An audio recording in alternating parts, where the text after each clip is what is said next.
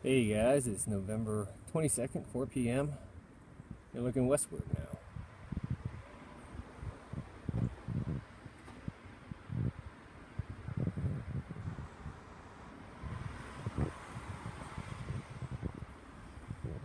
There's that second sun.